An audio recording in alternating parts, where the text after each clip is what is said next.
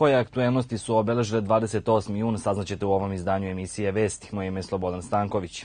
Samo dijalog obezbeđuje stabilnost i osnov za dalje razvoj kojem težimo, poručila je danas mandatarka Ana Brnabić, obraćajući se poslanicima u Skupštini Srbije i dodala da u svom budućem radu očekuje podršku predsednika države Aleksandra Vučića, pre svega imajući u vidu njegovo iskustvo i državnički ugled koji uživa u svetu, navodeći da će njena vlada slediti dosadašnju politiku prema Rusiji, da će proširivati dobre odnose s Kinom, Indijom, Južnom Korejom, ali i da će nastaviti da izgrađuje dobre odnose sa SAD-om u svim segmentima. Važno je da se usaglasimo oko prioriteta i napravimo društveni dogovor oko toga šta zajedno možemo i moramo da postignemo da bismo u Srbiji uveli u red uspešnih država, istakla je Brnabićeva. Digitalizacija, obrazovanje i ekonomski razvoj biće ključni prioriteti nove vlade, rekla je danas u Skupštini mandatarka Ana Brnabić.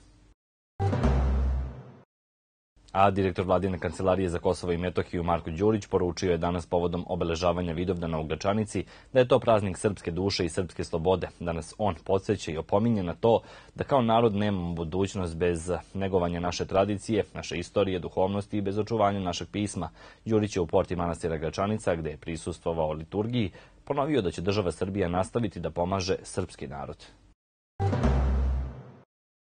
U nastavku i lokalne teme. Na svečanosti u zgradi opštine Stara Pazova vojnim obveznicima koji su dobrovoljno odslužili vojni rok u generaciji jun 2016 Uručene su danas značke vojnika na dobrovoljnom služenju vojnog roka i zahvalnice otačbine. 32 značke i priznanja vojnicima sa teritorije opštine Stara Pazova Indija uručio je potpukovnik Jovica Petković, načelnik Centra Ministarstva odbrane za lokalnu samoupravu Stara Pazova. On je podsjetio da je odbrana otačbine na ovim prostorima oduvek predstavljala svetu dužnost, pravo i čast, a služenje vojnog roka čin koji služi na ponos vojnika i njihovih porodica, naše vojske, naroda i države. Značke vojniku na dobrovoljnom služenju vojnog roka i zahvalnice otačbine su vojna priznanja, koja se dodeljuju vojnicima nakon odsluženog vojnog roka za doprinos zaštiti i jačanju sistema odbrane Republike Srbije. Pored karaktera stabilne i ekonomski razvijene sredine, opština Stara Pazova je poznata i po visokom nivou društvene odgovornosti, o čemu svedoče i ovi mladi ljudi koji su dobrovoljno odslužili vojni rok, istakao je Radoje Blagojević, član opštinskog veća.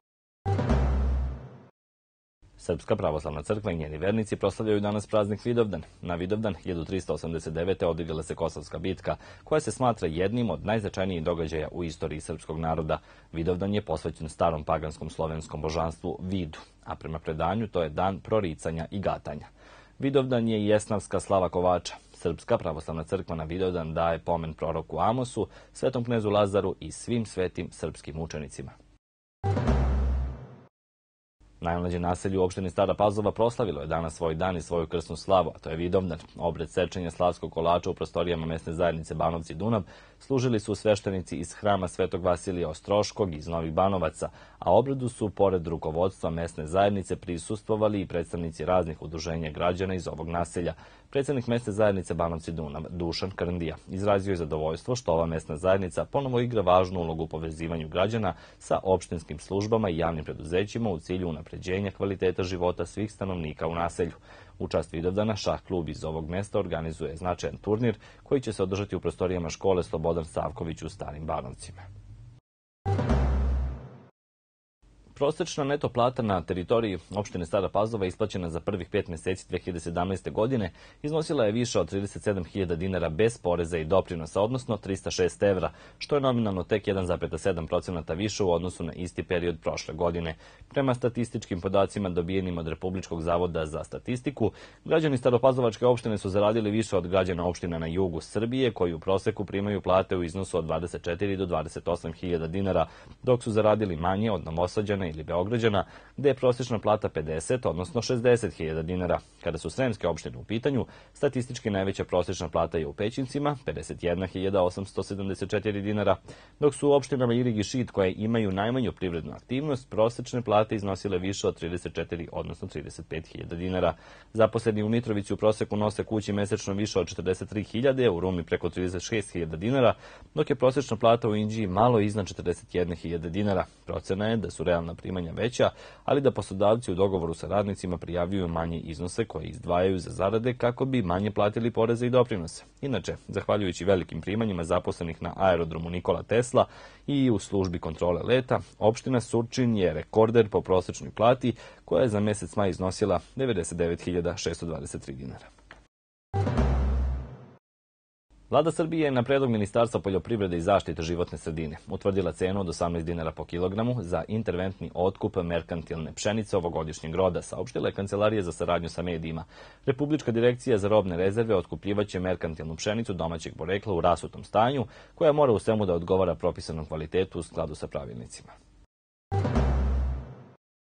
Od početka juna do kraja avgusta, kada je veći broj vozila na putevima zbog turističke sezone, prema statističkim podacima oko 200 ljudi poginulo u saobraćenim nesrećama, što je gotovo trećina ukupnog godišnjeg broja, kažu upravi saobraćene policije. Kod saobraćenih nezgoda često je potrebna krv, a u letnjem periodu dolazi do nedostatka krvi u republičkim rezervama. Stoga iz Crvenog krsta Stara Pazova podsjećaju na sutrašnju akciju dobrovoljnog davanja krvi. Akcija će se odvijeti u transfuziološkom autobusu koji će biti postavljen na platovu ispred zgrade opštine od 8 do 14 časova. Elektrodistribucija Stara i Nova Pazova najavila je za sutra radove na elektromreži u Novoj Pazovi, zbog čega će od 9 do 13 časova doći do prekida u snabdevanju električnom energijom. Bez struje će biti potrošači u sledećim ulicama. Miloša Obilića od broja 1 i 2 do broja 66, Crnogorska od broja 50 i 51 do kraja, Ribareva, Pinkijeva, Višegradska Jovana Dučića, Alekse Šantića, Milenka Pavlovića, Banja Lučka, Desanka Maksimović, Kosovka Devojka, Milenka Zubovića, pilota Zorana Latkovića, Vlastimira Kneževića, dobrovoljačka od broja 1 i 2 do broja 12 i 15, doktora Jovana Raškovića i Sidore Sekulić. A u Staroj Pazovi u periodu od 9 do 11 časova bez struje će biti trafostanica Kamenjareva.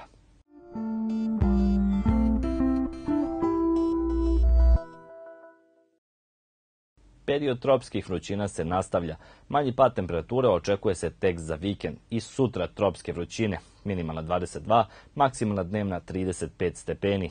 Pratili ste vesti na programu radio televizije Stara Pazova. Preporuka da ostanete i dalje uz naš program. Prijetno.